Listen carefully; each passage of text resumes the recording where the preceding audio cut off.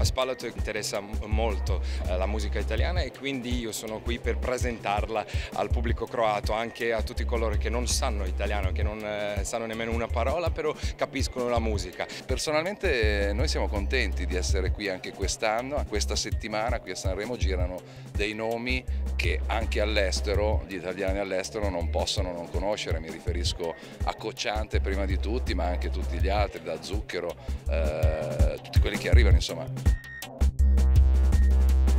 Faccio parte di una generazione in Italia che in fondo a, a quell'epoca ha, ha un po' annullato Sanremo.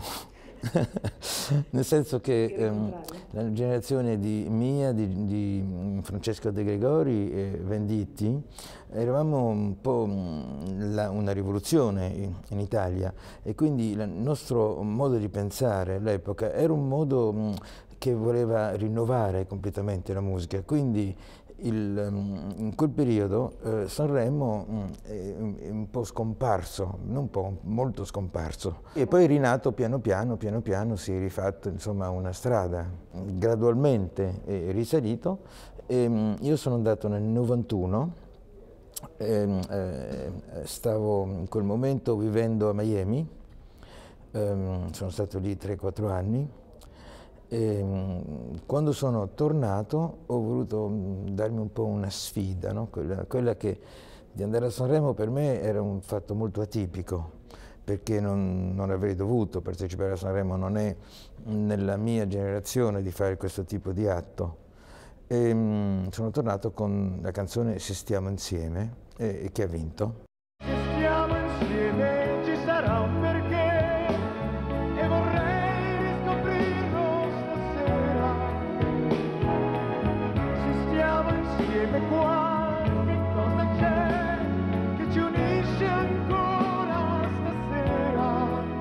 Sanremo per i giovani artisti. Tu trovi che sia ancora un passaggio obbligato? Io trovo che non dovrebbe esserlo. Non dovrebbe essere una situazione così in, in Italia, quello del passaggio obbligato a Sanremo per essere lanciati. Però um, purtroppo ci troviamo in questa, quasi in questa situazione, eh, nel senso che um, gli discografici aspettano il momento ehm, per lanciare un ragazzo ehm, approfittando del, del, concorso di Sanremo.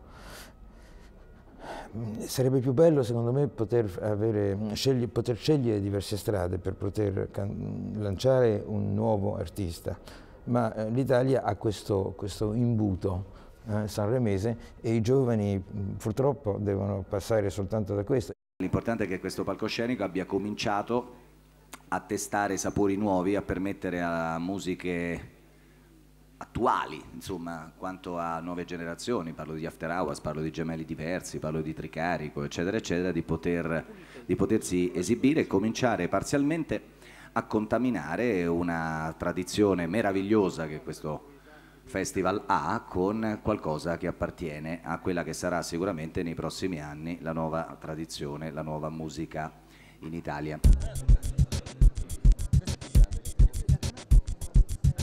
È stata un'esperienza positiva perché paradossalmente l'eliminazione ha, ha, fatto notizia, per cui il giorno dell'eliminazione abbiamo fatto il triplo della promozione del giorno prima. E per noi eh, che siamo degli alieni in questo festival eh, comunque essere sottolineati anche con un'eliminazione è stata una fortuna perché ci ha dato un sacco di attenzione no, intorno.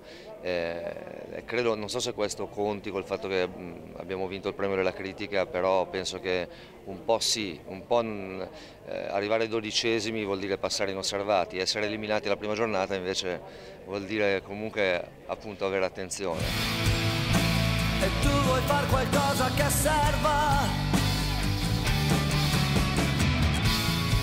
E farlo prima che il tuo amore si perda. Non ti accorgi che se lo vuoi tu quel che valeva poi non vale più. Ovviamente c'è una, una, una risonanza talmente, talmente unica e, e non paragonabile a nessun'altra manifestazione in Italia, per cui anche eh, un gruppo rock come noi viene a una manifestazione del genere per cercare di far, far passare il messaggio e far sentire la propria musica, le proprie parole a quanta più gente possibile.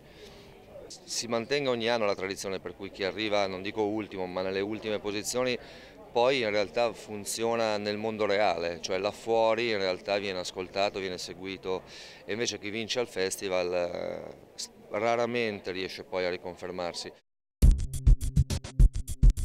Come si vince a Sanremo? Bisogna convincere un sacco di persone, bisogna convincere la gente a casa che vota con il televoto, quindi con il telefonino e quindi spendendo anche qualche, qualche centesimo di euro.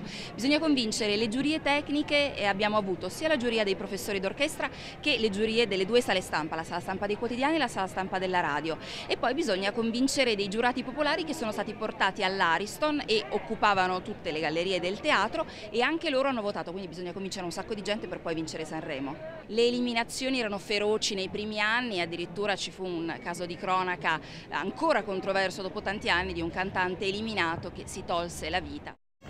Per saper se domani si vive o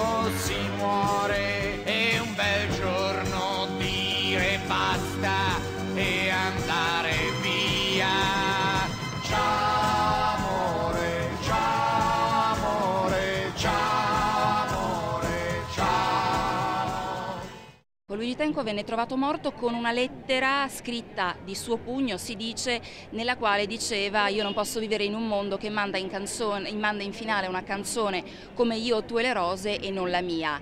Dubbi ce ne saranno sempre dopo quel Sanremo del 1967, però davvero in quegli anni le eliminazioni erano crudeli, cioè il pubblico davvero le, le viveva molto e i cantanti le soffrivano moltissimo.